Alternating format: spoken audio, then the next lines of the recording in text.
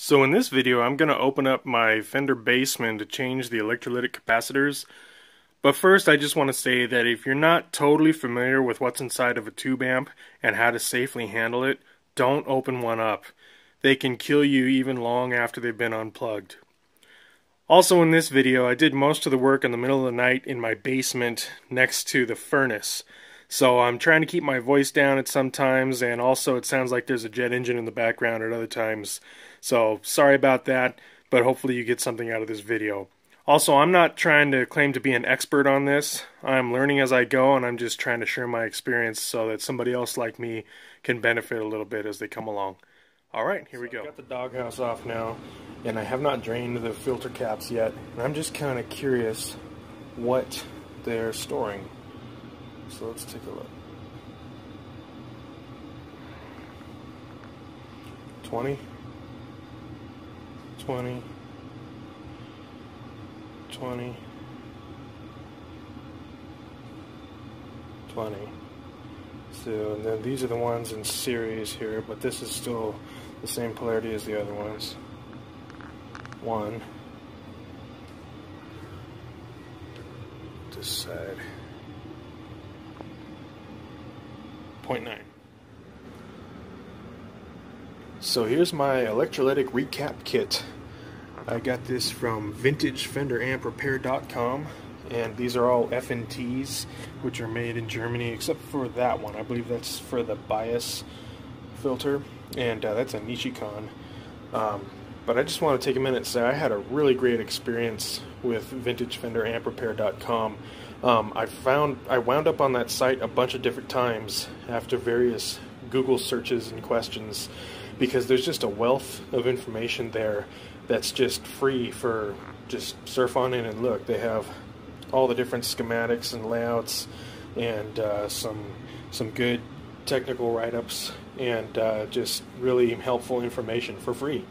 And then they also have really great service and a good price on these capacitors. I I had emailed asking what the values of the capacitors that they include in the kit are because it didn't exactly say on the website. It just you could just select which amp you had and they would send you a kit.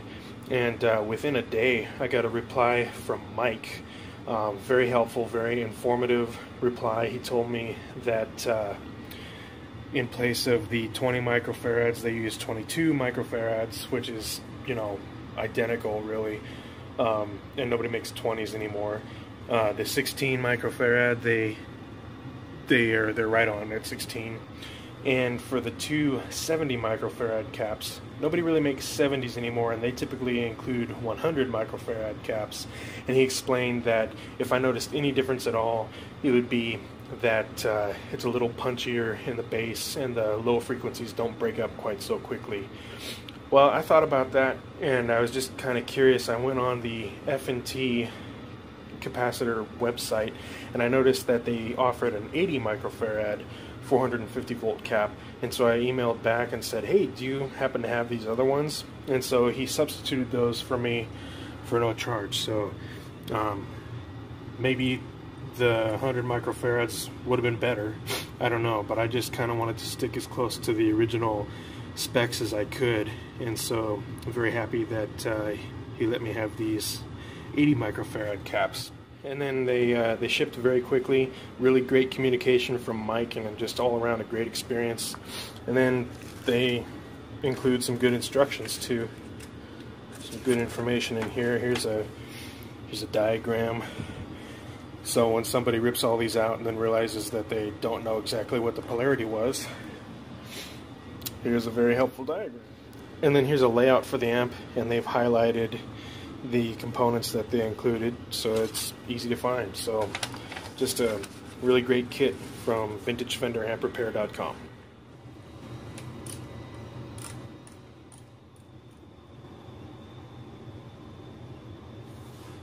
Okay, so that should be pretty easy all the leads just stop right there. I was reading, and on some of the amps, the leads go through and then go to other connections underneath between the boards, but not this one. They just all stop right here at these joints. So that should be pretty, pretty easy to desolder and resolder. I'm just going to place this pencil under here to kind of lift that up for me. So before I desolder anything, I'm just going to compare real quick that it looks like this diagram. So here we've got 16 microfarads and positive on that side, 20 microfarads, positive on that side, 20, positive, 20, positive, 70, positive, 70, positive. Yeah, that's good. So as long as I put them back like this picture, I should be okay.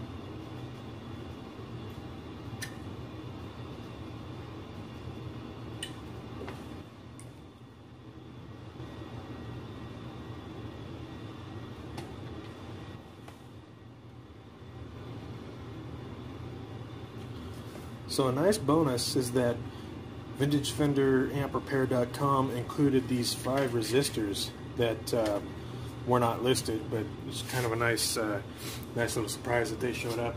I'm imagining that they're these five resistors, so I'll see if I can match them up. All right, looks like the color codes are not the same. So what I'm gonna do is just lift one end of the resistor and ohm it out.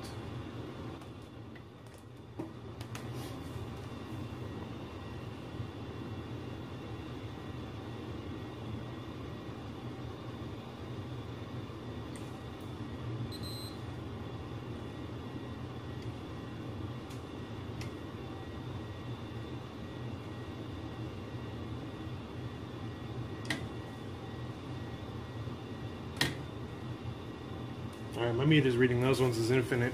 Might not be a real good meter for this.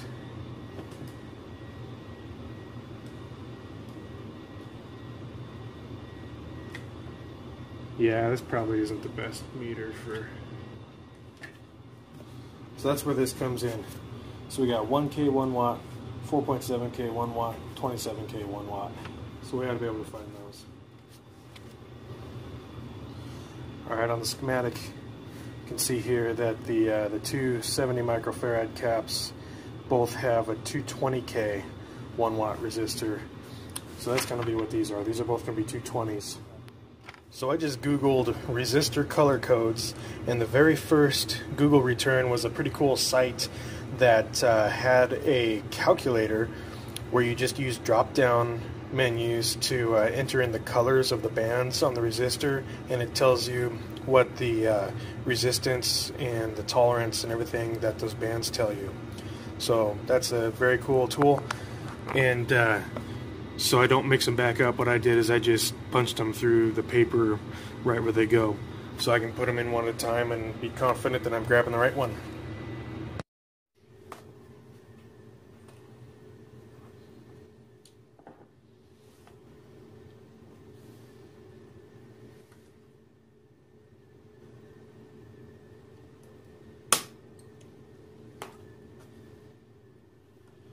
So I'm just trying to find something to stick in here to hold these wires off of this lead because I don't because everything along here is positive except for this lead is negative because these two capacitors are in series. So if I if I damage this insulation right where it lays across this lead, then that's obviously bad.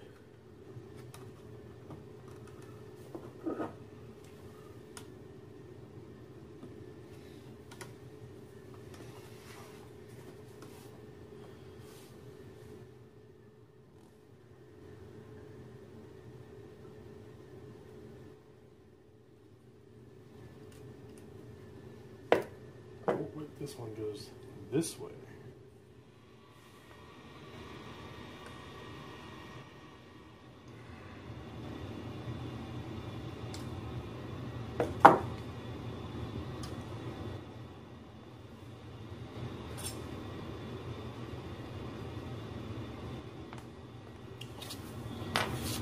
All right, next are the three 22 microfarad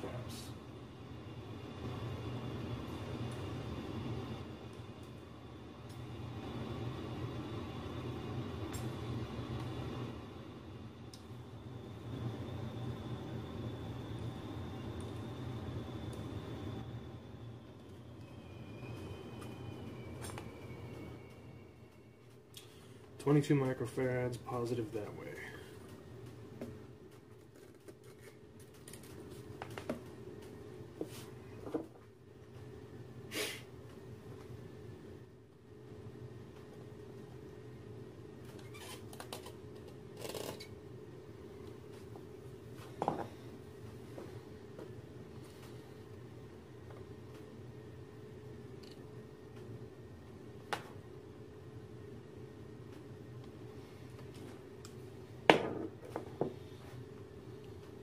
So you can see I'm not going totally taut on this lead. I'm just trying to take most of the excess away, but there's still, it still kind of makes some little bends and stuff. So there's no tension on the capacitor.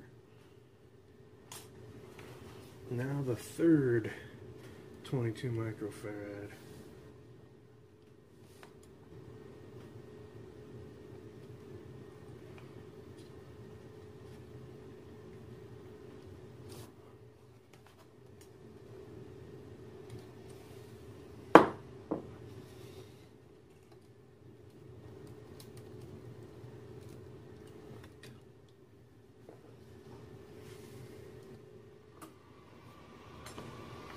Okay, finally we've got 16 microfarads and with positive facing down again. Now I'm going to have to move my little prop here.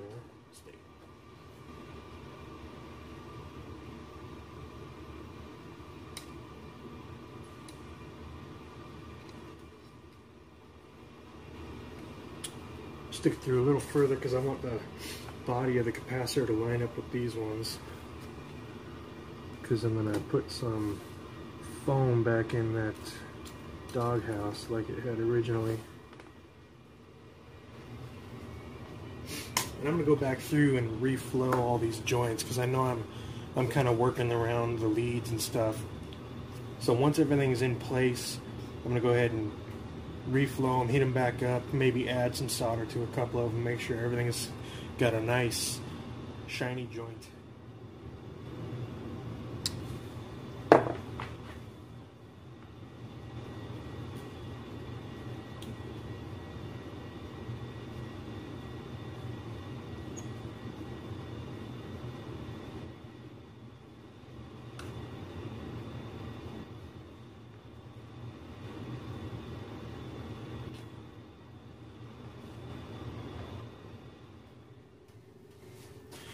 So here you can see the back side where all the leads stuck through from the components I just soldered in.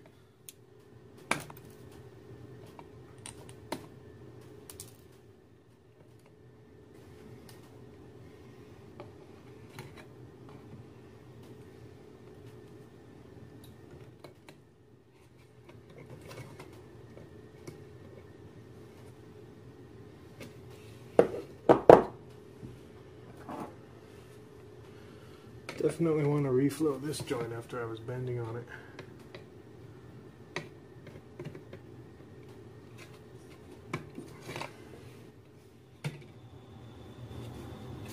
So one thing that's been kind of bothering me a little bit is this this lead on this capacitor with these wires laying right over the top of it.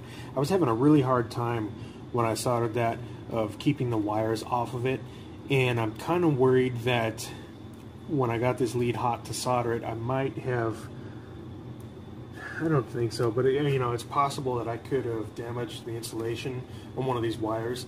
And everything along here is positive, except for this capacitor. This leg is negative, so if that, that would really tend to arc right there between these, you know, higher voltage positive wires and this negative lead right here.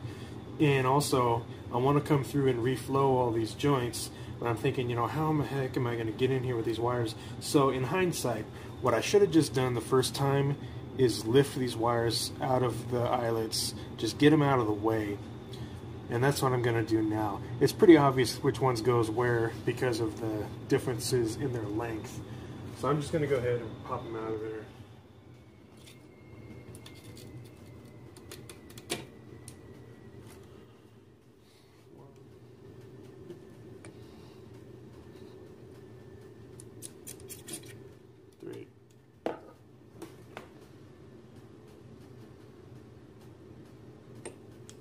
And what I'm going to do is because I, I don't have an extra hand, but I want to keep that capacitor from lifting up off the board, I'm just going to set that roll of solder on there to hold it down.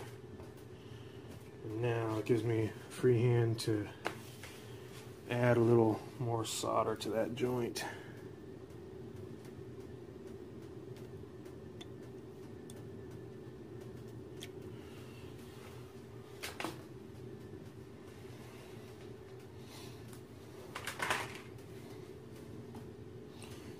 Same thing on this one. Get that lead down in there a little nicer.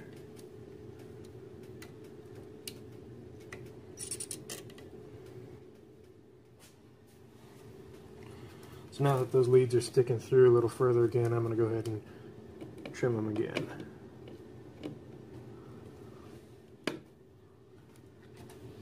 And also now, this gives me an opportunity to just go ahead and put some heat shrink on these you know, I don't know if I damaged them or not.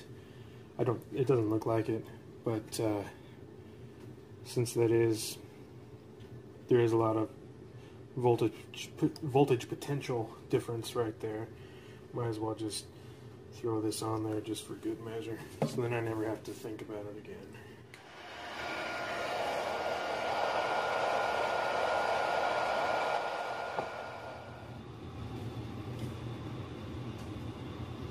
Give a nice double layer right where it goes across that capacitor.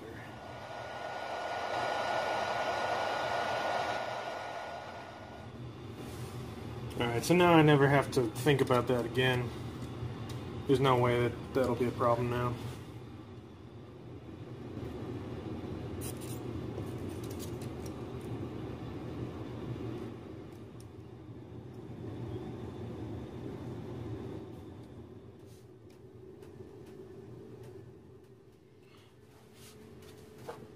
You know, I'm also going to do the same thing right here. I'm just going to put a little piece of heat shrink on there because that's opposite polarity running across there just in case I heated it up or if it ever chafes through, you know, this sits on top of a big 215 cabinet. Probably gets a lot of vibration. I'll just feel better if there's an extra layer of insulation on that wire right there.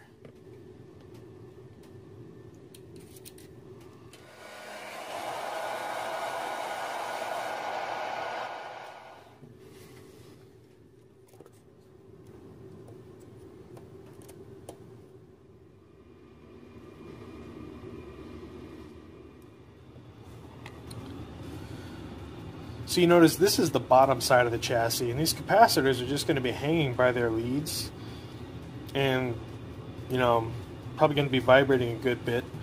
Um, the original doghouse here had a, a piece of uh, some kind of foam, or actually like a sponge, in it that uh, you know provided support for the capacitors, you know, to keep them pressed against the board to where they weren't putting tension on their leads.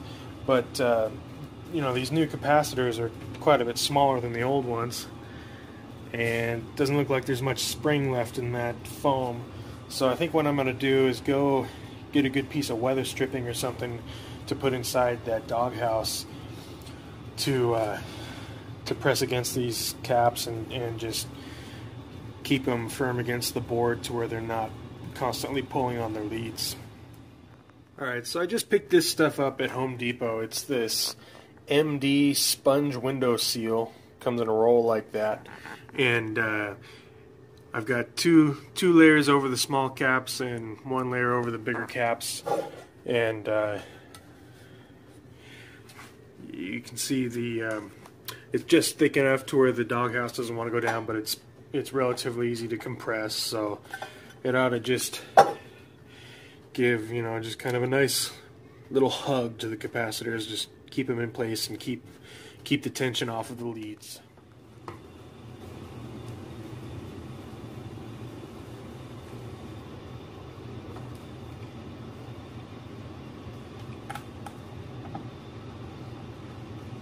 One other thing I wanted to mention is that uh, that sponge window seal that I used.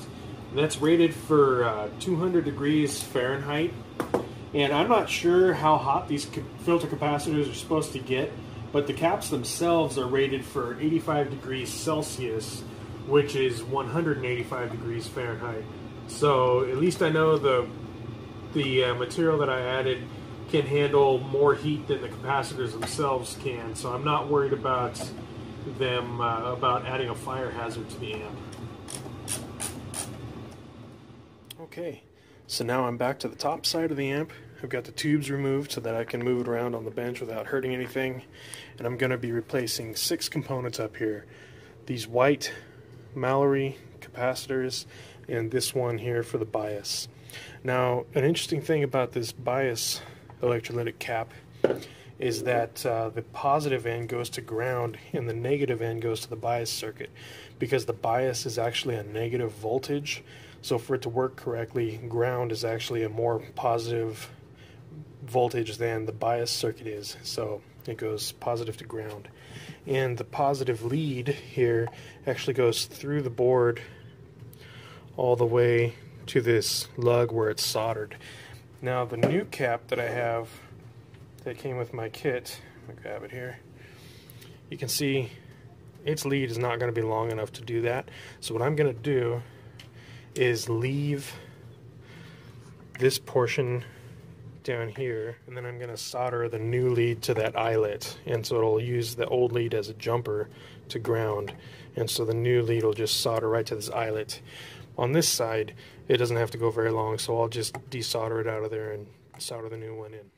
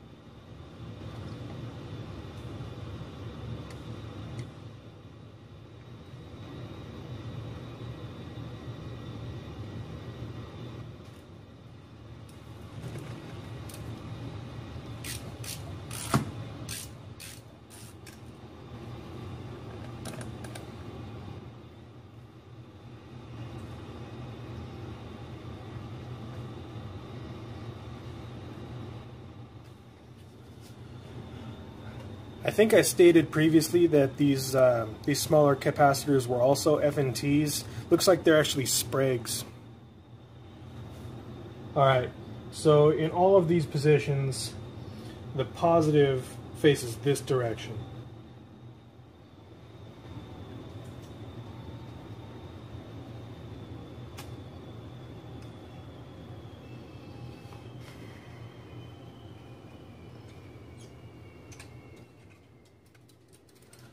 Pretty full eyelet there.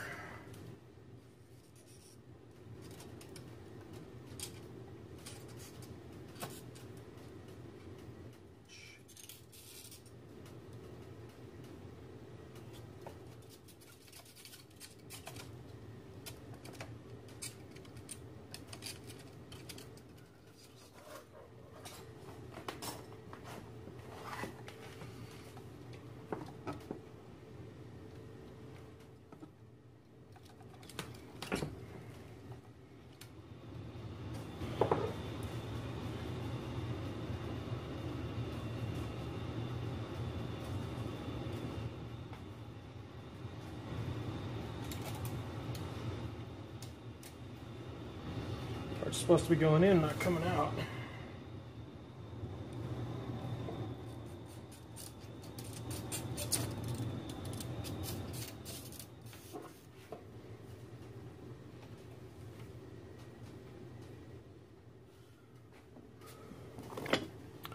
Well, this is definitely a learning experience.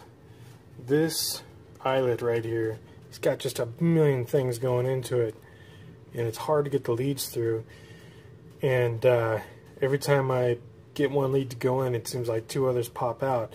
And then to top it all off, I just resoldered it and forgot that I still had to put another capacitor in. So now it's full of solder again. Oh, thank you God.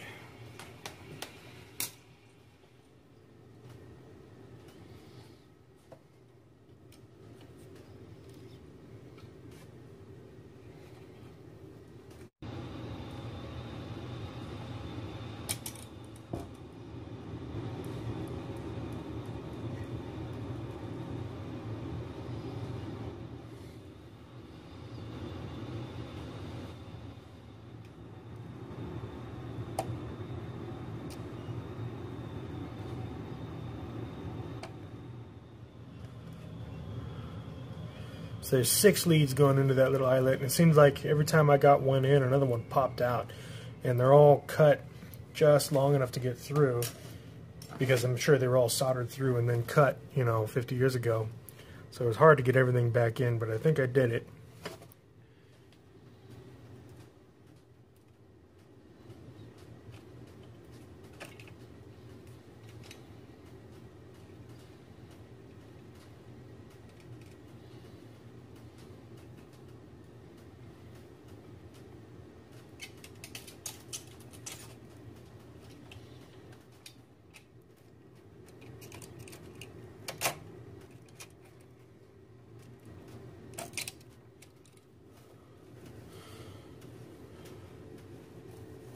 Alright, so this time I'm going to cut the leads first and just try to poke them through a little over an eighth inch or so.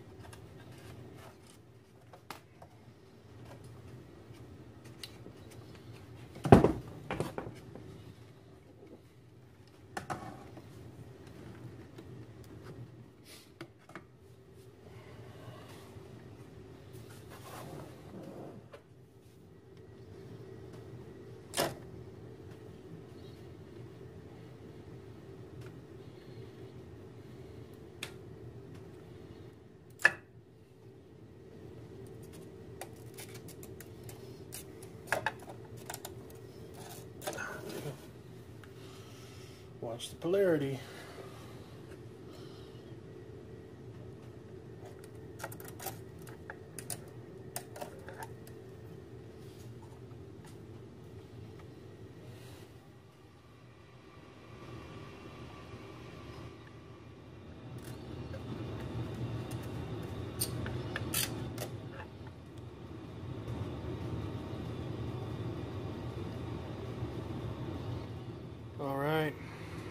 Got those capacitors all replaced.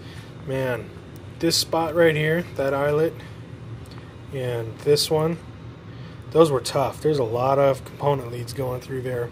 This is the first time I've uh, worked with an eyelet board, and uh, there's got to be some techniques that I need to learn or something because I had a heck of a time getting those leads through those eyelets. But I did. I got them all. So, so yeah.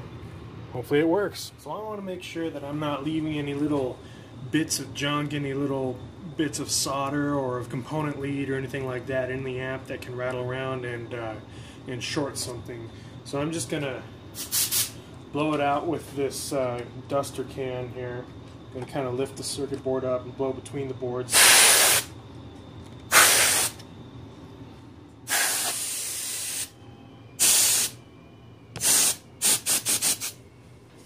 So everything kind of collected over in this corner now. I can just shake it up.